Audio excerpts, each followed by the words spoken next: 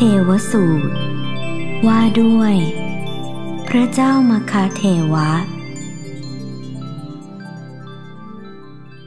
สมัยหนึ่ง พระผู้มีพระภาค ประทับอยู่ที่อัมพวันของพระเจ้ามคาเทวะ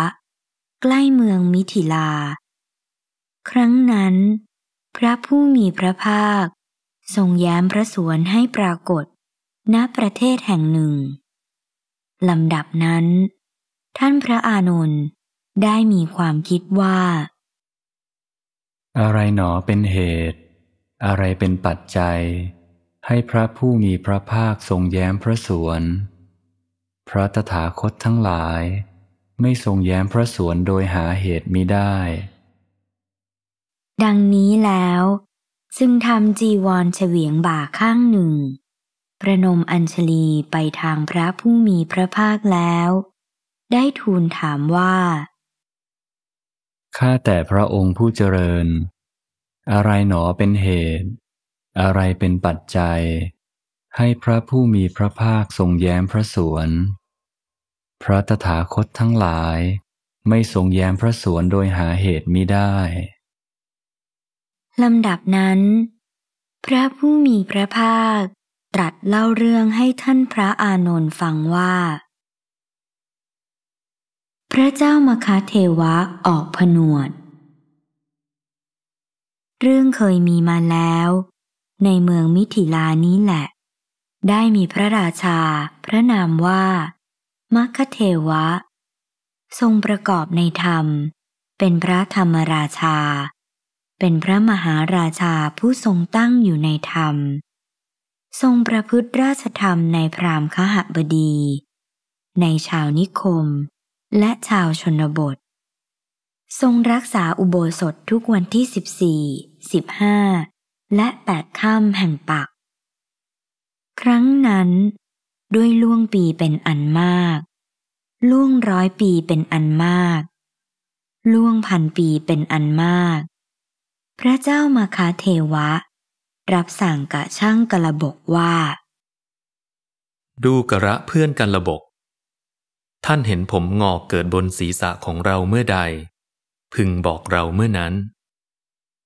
ช่างกระบก ทูลรับพระเจ้ามัคคเทวะว่า อย่างนั้นขอเดชะ เวลาล่วงไปหลายปี ล่วงไปหลายร้อยปี ล่วงไปหลายพันปี ช่างกระบก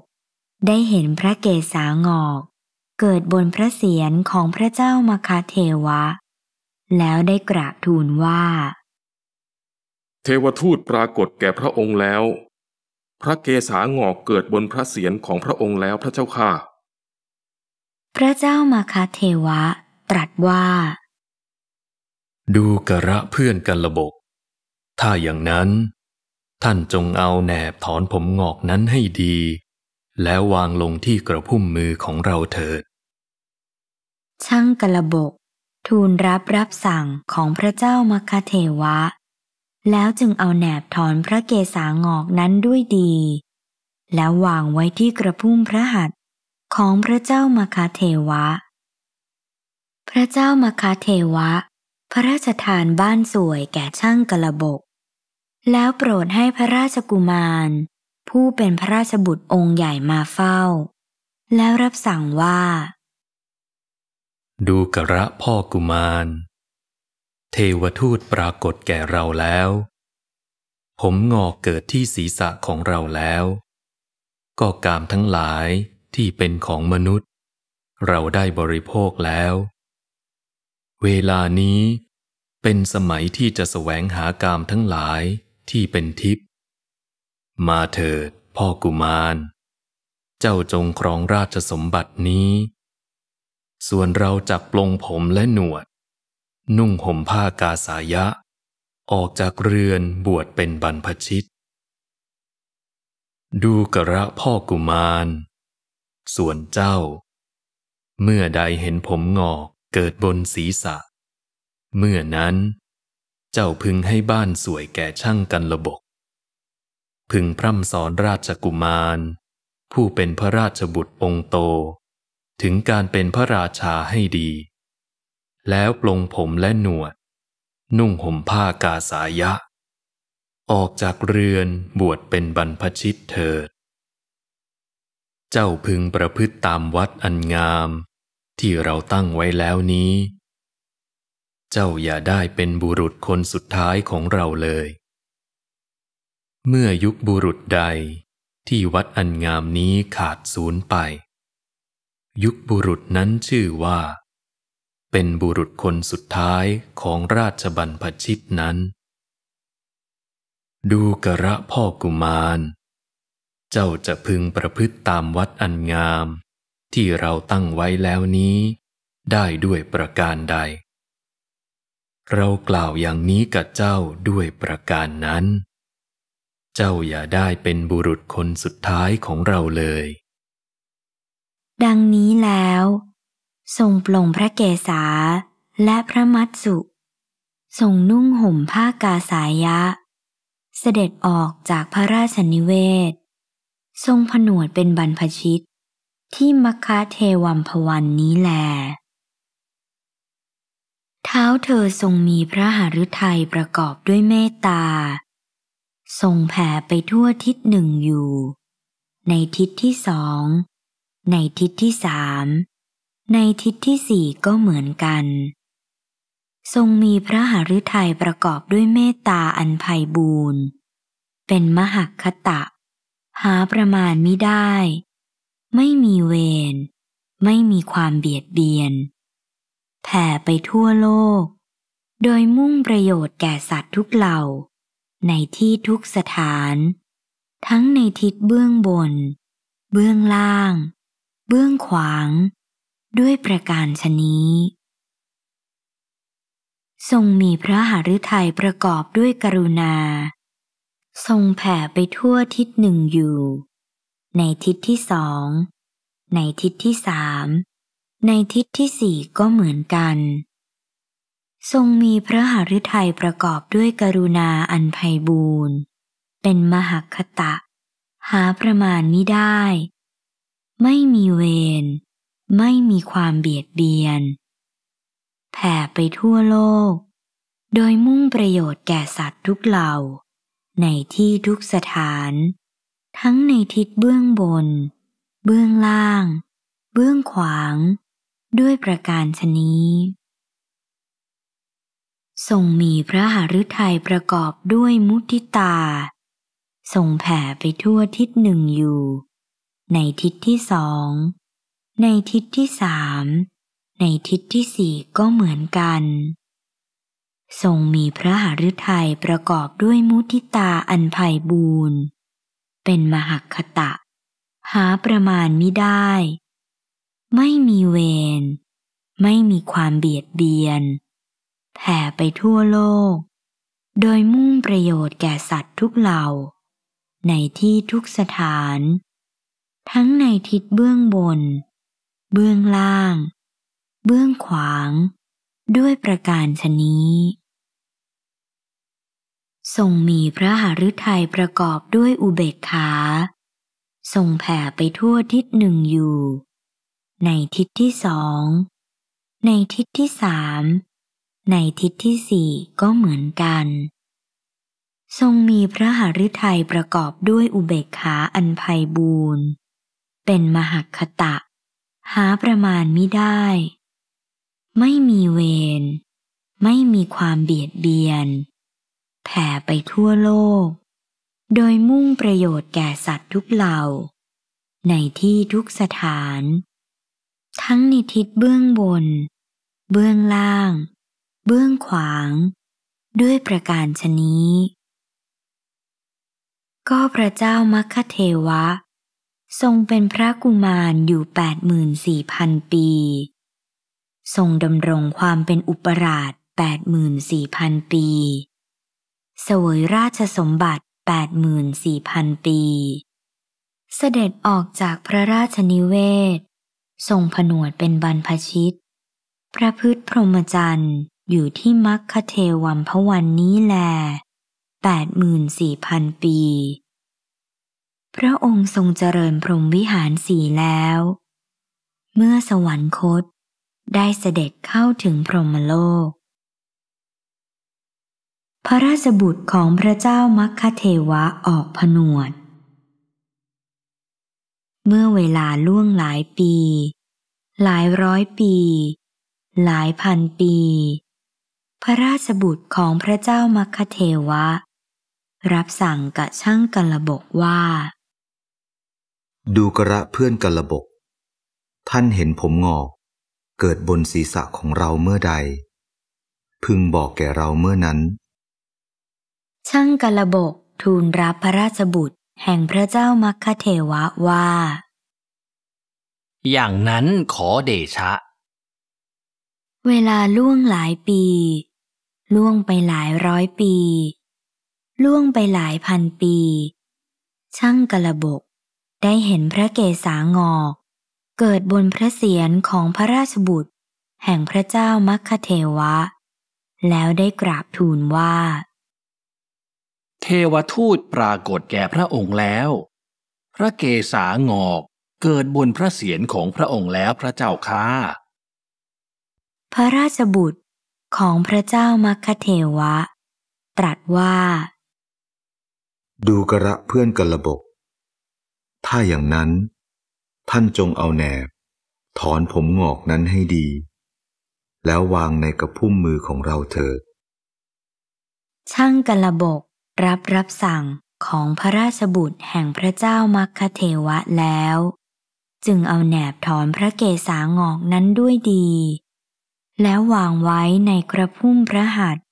ของพระราชบุตรแห่งพระเจ้ามัคคเทวะ ครั้งนั้น พระราชบุตรของพระเจ้ามัคคเทวะ พระราชทานบ้านสวย แก่ช่างกระบก แล้วโปรดให้พระราชกุมาร ผู้เป็นพระราชบุตรองค์ใหญ่มาเฝ้า แล้วได้ตรัสว่า ดูกระพ่อกุมาร เทวทูตปรากฏแก่เราแล้ว ผมงอกเกิดบนศีรษะของเราแล้ว กามทั้งหลายที่เป็นของมนุษย์ เราบริโภคแล้ว เวลานี้เป็นสมัยที่จะแสวงหากามอันเป็นทิพย์ มาเถิดพ่อกุมาร เจ้าจงครองราชสมบัตินี้ ส่วนเราจักปลงผมและหนวด นุ่งห่มผ้ากาสายะ ออกจากเรือน บวชเป็นบรรพชิต ถ้าแม้เจ้าเห็นผมงอกเกิดบนศีรษะเมื่อใด เมื่อนั้น เจ้าพึงให้บ้านสวยแก่ช่างกันระบบ พึงพร่ำสอนราชกุมาร ผู้เป็นราชบุตรองค์โต ถึงการเป็นพระราชาให้ดี แล้วพึงปลงผมและหนวด นุ่งห่มผ้ากาสายะ ออกจากเรือนบวชเป็นบรรพชิต พึงประพฤติตามวัดอันงามนี้ ที่เราตั้งไว้แล้ว เจ้าอย่าได้เป็นบุรุษคนสุดท้ายของเราเลย เมื่อยุคบุรุษใดที่วัดอันงามนี้ขาดสูญไป ยุคบุรุษนั้น ชื่อว่าเป็นบุรุษคนสุดท้ายของราชบรรพชิตนั้น ดูกระพ่อกุมาร เจ้าจะพึงประพฤติวัดอันงามที่เราตั้งไว้แล้วนี้ ได้ด้วยประการใด เรากล่าวอย่างนี้กับเจ้าด้วยประการนั้น เจ้าอย่าได้เป็นบุรุษคนสุดท้ายของเราเลย ดังนี้แล้ว ทรงปลงพระเกศาและพระมัตสุ ทรงครองผ้ากาสายะ แล้วเสด็จออกจากพระราชนิเวศ ทรงผนวดเป็นบรรพชิต อยู่ในมัคคะเทวัมพวันนี้แล เท้าเธอทรงมีพระหฤทัยประกอบด้วยพรหมวิหารสี่ ทรงแผ่ไปทั่วทิศหนึ่งอยู่ ในทิศที่สอง ในทิศที่สาม ในทิศที่สี่ก็เหมือนกัน ทรงมีพระหฤทัยประกอบด้วยพรหมวิหารสี่อันไพบูรณ์เป็นมหคตะ หาประมาณมิได้ ไม่มีเวร ไม่มีความเบียดเบียน แผ่ไปทั่วโลก โดยมุ่งประโยชน์แก่สัตว์ทุกเหล่า ในที่ทุกสถาน ทั้งในทิศเบื้องบน เบื้องล่าง เบื้องขวางด้วยประการชนี้ พระราชบุตรของพระเจ้ามัคคเทวะ ทรงเป็นพระกุมารแปดหมื่นสี่พันปี ทรงดำรงความเป็นอุปราชแปดหมื่นสี่พันปี เสวยราชสมบัติแปดหมื่นสี่พันปี เสด็จออกจากพระราชนิเวศ ทรงผนวดเป็นบรรพชิต พระพฤทธพรหมจรรย์อยู่ที่มัคคเทวัมพวันนี้แลแปดหมื่นสี่พันปี พระองค์ทรงเจริญพรหมวิหารสี่แล้ว เมื่อสวรรคตได้เสด็จเข้าถึงพรหมโลก พระราชบุตร พระราชนัดดาออกผนวด ก็พระราชบุตร พระราชนัดดา ของพระเจ้ามัคคเทวะสืบวงนั้นมาแปดหมื่นสี่พันชั่วกษัตริย์ ได้ปลงพระเกศา และพระมัตสุ ทรงครองภาคกาสายะ เสด็จออกจากพระราชนิเวศ ทรงผนวดเป็นบรรพชิต ณมัคคเทวัมพวันนี้แล เท้าเธอเหล่านั้น ทรงมีพระหฤทัยประกอบด้วยพรหมวิหารสี่ทรงแผ่ไปทั่วทิศหนึ่งอยู่ ในทิศที่สอง ในทิศที่สาม ในทิศที่สี่ก็เหมือนกัน ทรงมีพระหฤทัยประกอบด้วยพรหมวิหารสี่อันไพบูรณ์เป็นมหคตะ หาประมาณมิได้ ไม่มีเวร ไม่มีความเบียดเบียน แผ่ไปทั่วโลก โดยมุ่งประโยชน์แก่สัตว์ทุกเหล่า ในที่ทุกสถาน ทั้งในทิศเบื้องบน เบื้องล่าง เบื้องขวาง ด้วยประการชนี้ เท้าเธอเหล่านั้น ทรงเป็นพระกุมารแปดหมื่นสี่พันปี ทรงดำรงความเป็นอุปราชแปดหมื่นสี่พันปี เสวยราชสมบัติแปดหมื่นสี่พันปี เสด็จออกจากพระราชนิเวศ ทรงผนวดเป็นบรรพชิตพระพฤทธพรหมจรรย์อยู่ที่มัคคเทวัมพวันนี้แลแปดหมื่นสี่พันปี พระองค์ทรงเจริญพรหมวิหารสี่แล้ว เมื่อสวรรคตได้เสด็จเข้าถึงพรหมโลก พระเจ้านิมิราช เป็นพระราชาองค์สุดท้าย แห่งราชบัรพชิตเหล่านั้น เป็นพระราชา ประกอบในธรรม เป็นพระธรรมราชา เป็นพระมหาราชา ผู้ทรงสถิตอยู่ในธรรม ทรงประพฤติธรรม ในพรามคหบดี ชาวนิคม และชาวชนบท ทรงรักษาอุโบสถ ทุกวันที่สิบสี่ที่สิบห้าและที่แปดค่ำแห่งปัก พระเจ้านิมิราช รักษาอุโบสถ เรื่องเคยมีมาแล้ว อันตรากถานี้เกิดขึ้นแล้วแก่เทวดาชั้นดาวดึง ผู้นั่งประชุมกัน ณสภาชื่อสุธรรมมาว่า ดูกระผู้เจริญ เป็นลาบของชาววิเทหะหนอ ดูกระผู้เจริญ ชนชาววิเทหะได้ดีแล้วหนอ ที่พระเจ้านิมิราชของเขา เป็นพระราชาประกอบในธรรม เป็นพระธรรมราชา เป็นพระมหาราชาผู้ทรงสถิตอยู่ในธรรม ทรงประพฤติธรรมในพรามคหบดี ชาวนิคม และชาวชนบท และทรงรักษาอุโบสถทุกวันที่สิบสี่ที่สิบห้าและที่แปดแห่งปัก เท้าสักกะ เชิญเสด็จพระเจ้านิมิราชสู่ดาวดึง ครั้งนั้นเท้าสักกะจอมเทพ ตรัสเรียกเทวดาชั้นดาวดึงมาว่า ดูกระท่านผู้นิรทุกข์ทั้งหลาย ท่านทั้งหลายปรารถนาจะเห็นพระเจ้านิมิราชหรือไม่ เทวดาชั้นดาวดึง ทูลว่า ข้าแต่พระองค์ผู้นิรทุกข์ ข้าพระองค์ทั้งหลาย ปรารถนาจะเห็นพระเจ้านิมิราช สมัยนั้น ในวันอุโบสถที่สิบห้าพระเจ้านิมิราชทรงสนานพระกายทั่วพระเศียร แล้วทรงรักษาอุโบสถ เสด็จขึ้นปราสาทอันประเสริฐ ประทับนั่งอยู่ชั้นบน ครั้งนั้นเท้าสักกะจอมเทพ ทรงหายไปในหมู่เทวดาชั้นดาวดึง ไปปรากฏเฉพาะพระพักพระเจ้านิมิราช เปรียบเหมือนบุรุษผู้มีกำลัง พึงเหยียดแขนที่คูออก หรือพึงคูแขนที่เหยียดเข้าฉะนั้น แล้วได้ตรัสว่า ข้าแต่มหาราช เป็นลาภของพระองค์ ข้าแต่มหาราช พระองค์ได้ดีแล้ว เทวดาชั้นดาวดึงนั่งประชุมกันสรรเสริญอยู่ในสุธรรมสภาวะ ดูกระท่านผู้เจริญ เป็นลาภของชนชาววิเทหะหนอ ดูกระท่านผู้เจริญ ชนชาววิเทหะได้ดีแล้วหนอ ที่พระเจ้านิมิราชผู้ทรงธรรม เป็นพระธรรมราชา เป็นพระมหาราชาผู้สถิตอยู่ในธรรม ทรงประพฤติธรรมในพราหมณ์ขหบดี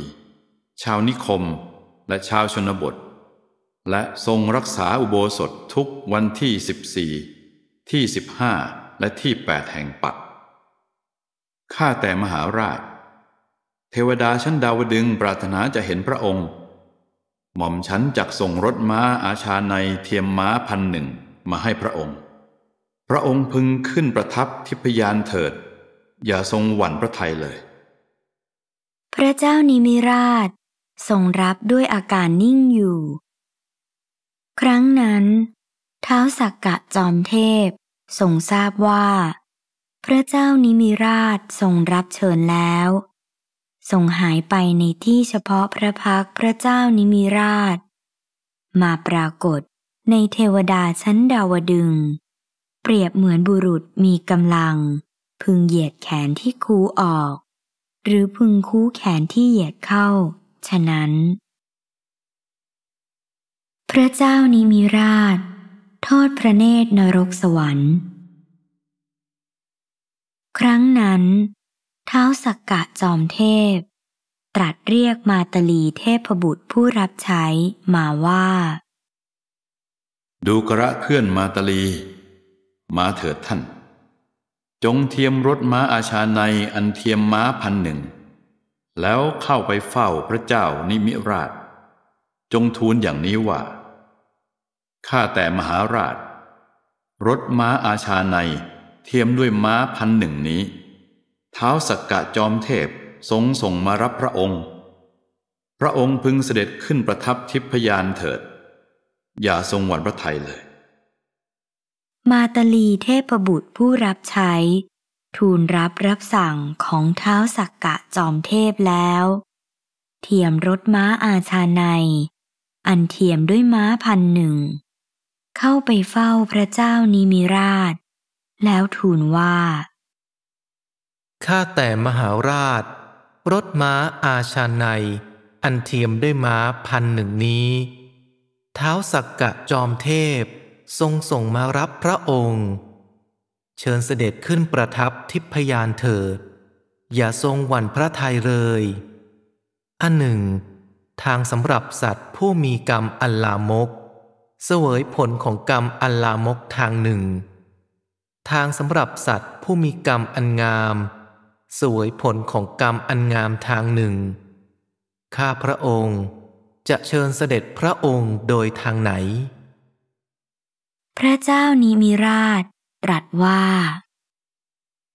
ดูกะละมาตลี จงนำเราไปโดยทางทั้งสองนั่นแหละ มาตลีเทพบุตรผู้รับใช้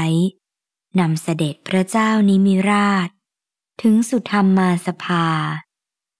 ท้าวสักกะจอมเทพ ทอดพระเนตรเห็นพระเจ้านิมิราชกำลังเสด็จมาแต่ไกล แล้วได้ตรัสว่า ข้าแต่มหาราช เชิญเสด็จมาเถิด ข้าแต่มหาราช พระองค์เสด็จมาดีแล้ว เทวดาชั้นดาวดึงประชุมสรรเสริญอยู่ในสุธรรมสภาว่า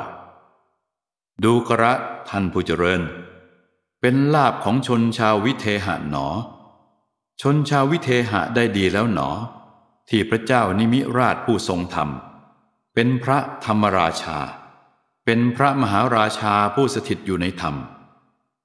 ทรงประพฤติธรรมในพรามข้าบดี ชาวนิคมและชนบท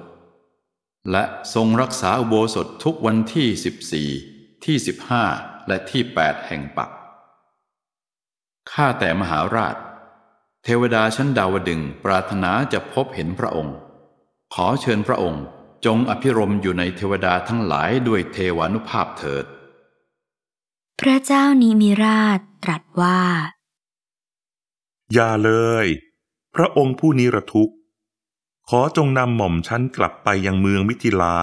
ในมนุษยโลกนั้นเถิด หม่อมชั้นจะได้ประพฤติธรรมอย่างนั้น ในพราหมณ์ขหาบดี ชาวนิคม และชาวชนบท และจะได้รักษาอุโบสถทุกวันที่สิบสี่ที่สิบห้าและที่แปดแห่งปักเถิดลำดับนั้นเท้าวสักกะจอมเทพ ตรัสเรียกมาตาลีเทพบุตรผู้รับใช้มาว่า ดูครับเพื่อนมาตาลี ท่านจงเทียมรถม้าอาชาในอันเทียมด้วยม้าพันหนึ่ง แล้วนำพระเจ้านิมิราชกลับไปยังเมืองมิถิลาในมนุษย์โลกนั้น มาตลีเทพบุตรผู้รับใช้ ทูลรับรับสั่งของเท้าสักกะจอมเทพแล้ว เทียมรถม้าอาชาใน อันเทียมด้วยม้าพันหนึ่ง แล้วนำพระเจ้านิมิราช กลับไปยังเมืองมิถิลาในมนุษยโลกนั้น พระเจ้านิมิราช ทรงเห็นพระเกศางอก ออกผนวด สมัยนั้น พระราชาเป็นใหญ่ ทรงประพฤติธรรม ในพรามขหบดี ชาวนิคม และชาวชนบท และทรงรักษาอุโบสถ ทุกวันที่สิบสี่ที่สิบห้าและที่แปดแห่งปัก เวลาล่วงไปหลายปี ล่วงไปหลายร้อยปี ล่วงไปหลายพันปี พระเจ้านิมิราช ตรัสกะช่างกระบกว่า ดูกะละเพื่อนกระบก ท่านเห็นผมหงอกเกิดขึ้นบนศีรษะของเราเมื่อใด พึงบอกแกเราเมื่อนั้น ช่างกระบก ทูลรับรับสั่งพระเจ้านิมิราชว่า อย่างนั้นขอเดชะ เวลาได้ล่วงหลายปี หลายร้อยปี หลายพันปี ช่างกระบก ได้เห็นพระเกศางอกเกิดขึ้นบนพระเศียรพระเจ้านิมิราช จึงได้กราบทูลว่า เทวทูตปรากฏแก่พระองค์แล้ว พระเกศางอกเกิดขึ้นบนเสียรของพระองค์แล้ว พระเจ้านิมิราช ตรัสว่า ดูกะละเพื่อนกระบก ถ้าอย่างนั้นท่านจงเอาแหนบถอนผมงอกนั้นให้ดี แล้ววางไว้ในกระพุ่มมือของเรา ช่างกระบก ทูลรับรับสั่งพระเจ้านิมิราช แล้วเอาแหนบถอนพระเกศางอกนั้นด้วยดี วางไว้ในกระพุ่มพระหัตถ์ของพระเจ้านิมิราช ครั้งนั้น พระเจ้านิมิราช พระราชทานบ้านสวย แก่ช่างกระบก แล้วโปรดให้พระราชกุมาร ผู้เป็นราชบุตรองค์ใหญ่มาเฝ้า แล้วตรัสว่า พ่อกุมาร เทวทูตปรากฏแก่เราแล้ว ผมหงอกเกิดขึ้นบนศีรษะของเราแล้ว ก็กามทั้งหลายอันเป็นของมนุษย์ เราบริโภคแล้ว นี้เป็นสมัยที่เราจะแสวงหากามอันเป็นทิพย์มาเถิดเจ้า เจ้าจงครองราชสมบัตินี้ ส่วนเราจะปลงผมและหนวด นุ่งห่มผ้ากาสายะ ออกจากเรือนบวชเป็นบรรพชิต ดูกระพ่อกุมารถ้าแม้นเจ้าพึงเห็นผมหงอกเกิดขึ้นบนศีรษะเมื่อใด เมื่อนั้น เจ้าพึงให้บ้านสวยแก่ช่างกันระบกพร่ำสอนราชกุมาร ผู้เป็นพระราชบุตรองค์โต ในการที่จะเป็นพระราชาให้ดี แล้วปรงผมและหนวด นุ่งห่มผ้ากาสายะ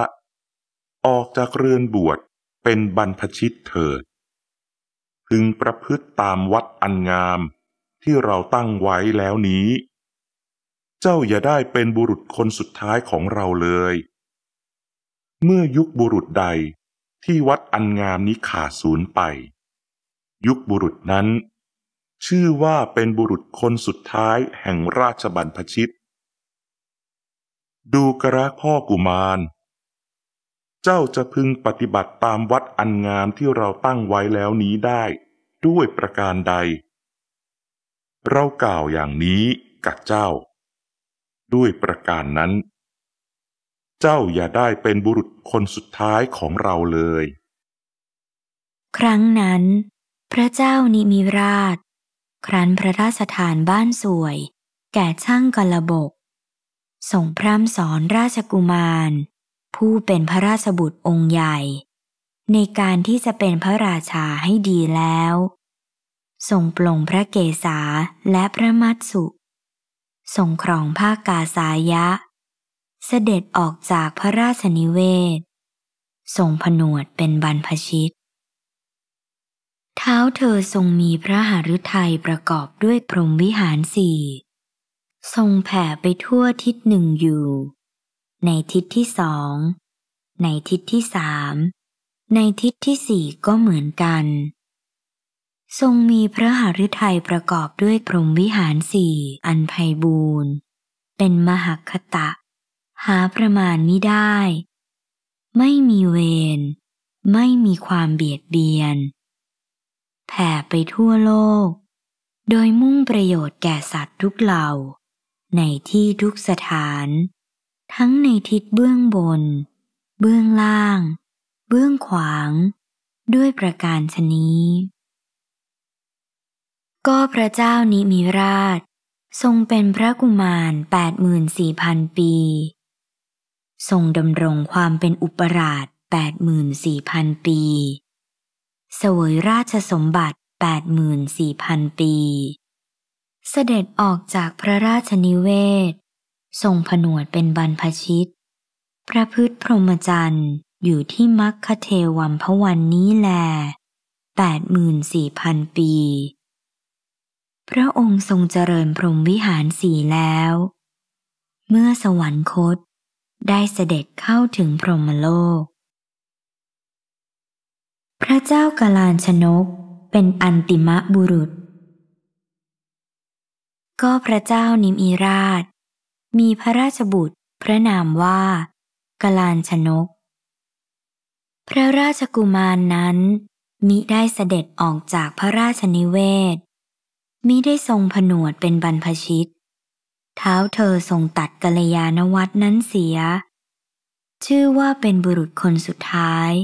แห่งราชบัณฑชิตนั้น ดังนี้แล้ว พระผู้มีพระภาคทรงตรัสว่า ดูกระอานนท์เธอพึงมีความคิดเห็นอย่างนี้ว่า สมัยนั้น พระเจ้ามคะเทวะ ซึ่งทรงตั้งกัลยาณวัตนั้นเป็นผู้อื่นแน่ แต่ข้อนั้นเธอไม่พึงเห็นอย่างนั้น สมัยนั้น เราเป็นพระเจ้ามัคะเทวะ เราตั้งกัลยาณวัตนั้นไว้ ประชุมชนผู้เกิดณภายหลัง ประพฤติตามกัลยาณวัตที่เราตั้งไว้แล้วนั้น แต่กัลยาณวัตนั้น ไม่เป็นไปเพื่อความเบื่อหน่าย เพื่อคลายกำหนัด เพื่อดับสนิท เพื่อสงบระงับ เพื่อความรู้ยิ่ง เพื่อตรัสรู้ เพื่อนิพพาน เป็นไปเพียงเพื่ออุบัติในพรหมโลกเท่านั้น ส่วนกัลยาณวัตรที่เราตั้งไว้ในบัดนี้ ย่อมเป็นไปเพื่อความเบื่อหน่าย เพื่อคลายกำหนัด เพื่อดับสนิท เพื่อสงบระงับ เพื่อความรู้ยิ่ง เพื่อตรัสรู้ เพื่อนิพพาน โดยส่วนเดียว ก็กัลยาณวัตรที่เราตั้งไว้ในบัดนี้ ซึ่งเป็นไปเพื่อความเบื่อหน่าย เพื่อคลายกำหนัด เพื่อดับสนิท เพื่อสงบระงับ เพื่อความรู้ยิ่ง เพื่อตรัสรู้ เพื่อนิพพาน โดยส่วนเดียว นั้นเป็นไฉนคือมักมีองค์แปดเป็นอริยะนี้แหลคือ สัมมาทิฏฐิ สัมมาสังกัปปะ สัมมาวาจา สัมมากัมมันตะ สัมมาอาชีวะ สัมมาวายามะ สัมมาสติ สัมมาสมาธิกัลยาณวัตรที่เราตั้งไว้ในบัดนี้ นี้แหละย่อมเป็นไปเพื่อความเบื่อหน่าย เพื่อคลายกำหนัด เพื่อดับสนิท เพื่อสงบระงับ เพื่อความรู้ยิ่ง เพื่อตรัสรู้ เพื่อพระนิพพาน โดยส่วนเดียว ดูกระอานนท์ เธอทั้งหลายจะพึงประพฤติตามกัลยาณวัตรที่เราตั้งไว้แล้วนี้ได้ด้วยประการใด เรากล่าวอย่างนี้กับเธอทั้งหลายด้วยประการนั้น เธอทั้งหลาย อย่าเป็นบุรุษคนสุดท้ายของเราเลย เมื่อยุคบุรุษใดกัลยาณวัตรเห็นปานนี้ขาดศูนย์ไป ยุคบุรุษนั้นชื่อว่า เป็นบุรุษคนสุดท้ายของบุรุษเหล่านั้น เธอทั้งหลายจะพึงประพฤติตามกัลยาณวัตรที่เราตั้งไว้แล้วนี้ได้ด้วยประการใด เรากล่าวอย่างนี้กับเธอทั้งหลายด้วยประการนั้น เธอทั้งหลายอย่าได้ชื่อว่า เป็นบุรุษคนสุดท้ายของเราเลย พระผู้มีพระภาค ได้ตรัสพระพุทธพจน์นี้แล้ว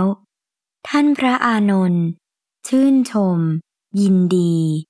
พระภาสิทธิ์ของพระผู้มีพระภาคแล้ว ดังนี้แล จบมคเทวสูตร